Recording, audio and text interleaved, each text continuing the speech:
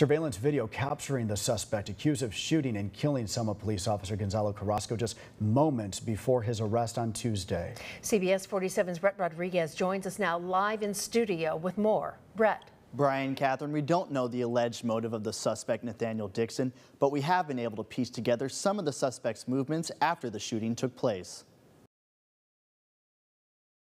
Selma 37, it's an officer down. Copy, officer down. Surveillance video captures the gunshots fired Tuesday after detectives say Carrasco was shot and killed by 23-year-old Nathaniel Dixon at Pine Street near Mitchell and Selma. Suspect ran southbound on Mitchell. Moments after the shooting, Dixon could be seen on security footage heading west on Mill Street. From there, the suspect turned onto Sequoia and headed towards an empty lot just a couple hundred yards from Eric White Elementary School.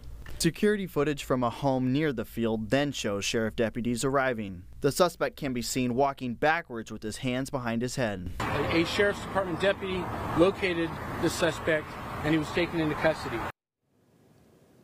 The suspect, Nathaniel Dixon, will have his first appearance in court tomorrow. He is facing several charges, including first degree murder. Live in the studio, Brett Rodriguez, CBS 47 Eyewitness News.